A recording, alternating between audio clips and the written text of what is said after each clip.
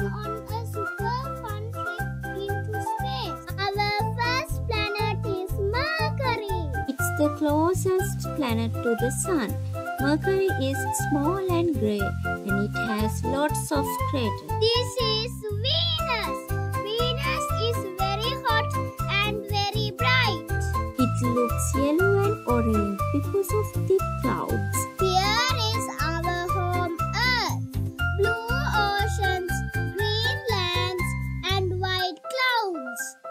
is the only planet where people, animals, and turtle live. This is Mars. Mars is red and dusty. Some people call it the red planet. Wow, look at Jupiter. It's the biggest planet in our solar system. It has big stripes and a giant red spot, a huge storm.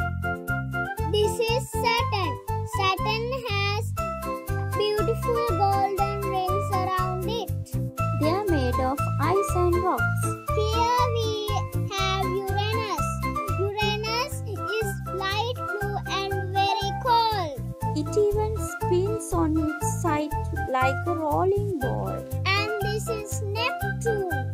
Neptune is deep blue and windy.